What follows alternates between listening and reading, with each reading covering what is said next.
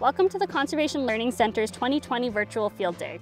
We are releasing a series of videos that showcase some of our current research and demonstration here on site. Thank you to our Field Day sponsors, the Saskatchewan Wheat Development Commission and the Saskatchewan Flax Development Commission, as well as all of our other funders who support research here on site. This trial, we're looking at best management practices for production of haskaps in Saskatchewan. It is a multi-year project that's been funded through the Strategic Field Program that's made possible by the Canadian Agricultural Partnership. We have Forrest Scharf here with us today. He is the Provincial Specialist of Fruit Crops with the Saskatchewan Ministry of Agriculture. This is the Haskap Agronomy Trial. It's a Strategic Field Program uh, funded project as mentioned.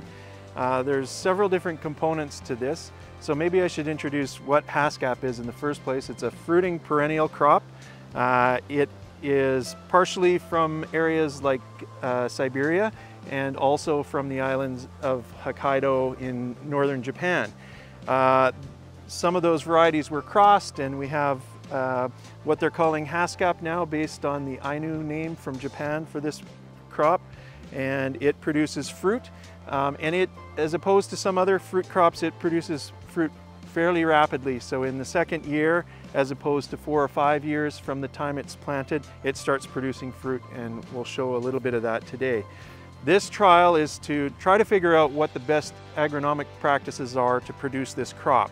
And so there's different components of what we're testing here.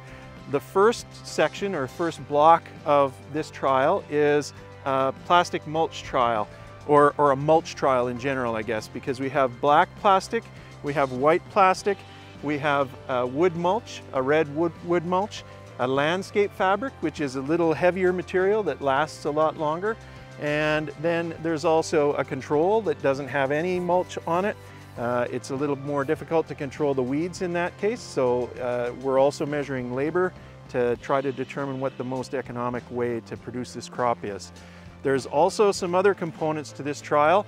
Uh, there's a fertilizer block and that one measures different levels of fertilizer and we have a granular treatment. So in the spring we're putting out granular fertilizer.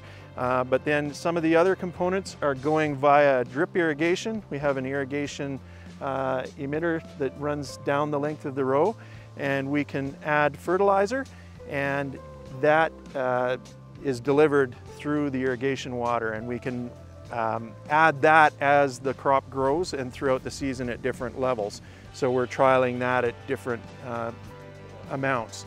And then beyond the fertilizer block is an irrigation block. And in that one, we have uh, a single line, a single drip line that's going twice a week at a spe specific rate.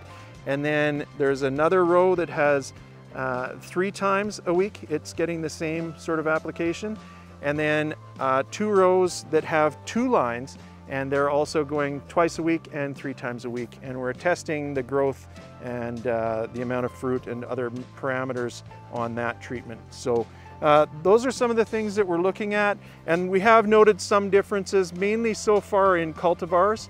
There's a little bit of a growth difference between the higher level fertilizers and the higher level watering, although uh, in 2019, we started getting rain. In 2020, it's been fairly decent moisture levels here. So the differences are probably not as pronounced as they would have been had it been a dry year. Um, some of the cultivars are fruiting and I guess we can show some of those uh, and we'll just focus in on some of the plants and show the fruit that's coming. Uh, and as I said, this is the second year, so pretty early fruiting for a, a perennial fruit crop. Another component of this trial is a cultivar testing. So there are 20 different cultivars. Uh, the majority are from the University of Saskatchewan breeding program and those are featured in the, the first section here of this mulch trial.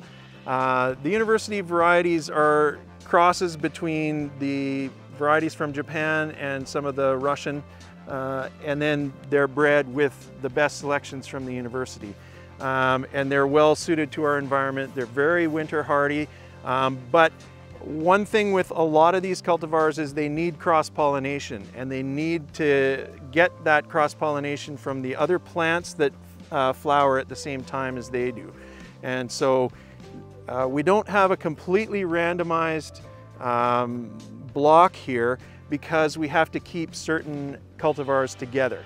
And I can show you some of these. Honeybee is a University of Saskatchewan variety. It's kind of featured as one of the pollinizers along with Aurora.